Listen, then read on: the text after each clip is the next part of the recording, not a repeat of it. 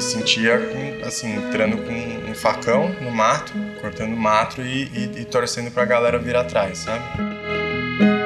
O que é mais difícil é você desenvolver uma cultura, né, para que aquela mensagem que você quer passar, ela seja passada com consistência. A galera que já estava no mercado começou a ver uh, as coisas que a gente fazia, começou a fazer igual. Isso era, isso é incrível, né? Isso é porque realmente subiu a régua, o, patamar e a cidade ganhou. Então essa é mais ou menos a, a nossa missão ali, né, na, dentro da comunidade que a gente está. O Vitório, né, que é do nome Vitório, ele é meu bisavô. Foi, foi bem a cara, assim, né, no restaurante. Eu queria montar, montar um restaurante italiano e poxa, aí você tem um lugar que é um lugar, uma casa de mais de 100 anos, uma casa realmente uma casa de vô, né? Tem um aspecto de uma casa de vô.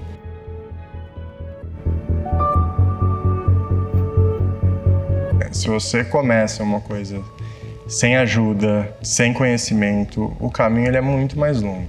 Ele é muito mais árduo e, e quando realmente começou a pandemia de as coisas fecharem e tal, eu acreditei que ali seria um momento bacana de ter, né, alguém conversando com a gente, preocupado como o Marcelo é, né, de entender o mercado, de ir atrás e, e conversar e trazer referência para a gente e, e ter uma comunidade de vários donos de restaurante conversando com a gente, passando as suas dificuldades, os problemas, a, as soluções que eles estão encontrando.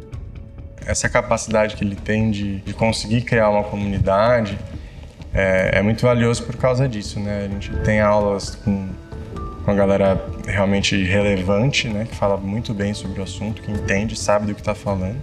E o pessoal realmente abre muitas portas, né?